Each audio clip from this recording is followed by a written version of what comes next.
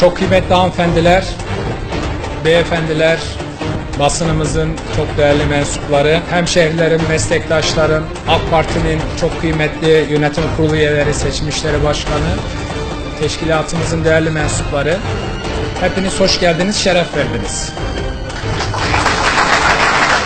Tabii bugün çok önemli bir gün. İnsanın hayatında milletini temsil etmek için çıktığı bir yol. Bunun için bir yere müracaat etmesi hayatının dönüm noktalarından bir tanesi. Ben bunu hayatım boyunca çok önemsedim çünkü yaklaşık 30 yıl boyunca hayatımın tamamını milletime, devletime ve en başta şehrim güzel Kahramanmaraş'a hizmet etmek için her zaman kendimi buna hazırladım. Bu itibarla şerefle 3 yıldır sürdürdüğüm Eczacı Odası Başkanlığı'na beni getiren buradaki meslektaşlarıma da öncelikle canı gönülden teşekkür ediyorum. Siyaset çok uzun süreli ve meşakkatli bir süreç. Bunun için insanın kendini hazırlaması çok kolay bir şey değil. 30 yıl boyunca nakış gibi kendimizi bugünlere hazırladık. Benle beraber çalışan arkadaşlarım bu konudaki titizliğimi bilirler. Türkiye bundan sonraki süreçte çok daha güçlü olmak durumunda, çok daha güçlü, etkin siyaset üretmek durumunda.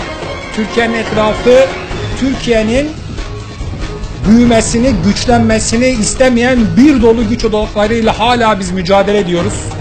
Onun için tarihi bir seçime gidiyoruz arkadaşlar. Daha öncekilerden çok daha fazla birbirimize sarılmak ve bu milletin başını öne eğmemek durumundayız. Bu milletin başı dik olmak durumunda. Bu millet düşmana karşı kendini her zamankinden daha fazla güçlü hissettirmek zorunda. Bunu da yapmanın tek yolu güçlü bir iktidar. AK Partimiz ve Milliyetçi Hareket Partisi'nin ortaklaşa Cumhur İttifakı'nda buluşmasıyla Türkiye çok daha güçlü bir iktidara inşallah uzanacaktır. Bu konuda vereceğiniz desteğe inanıyorum.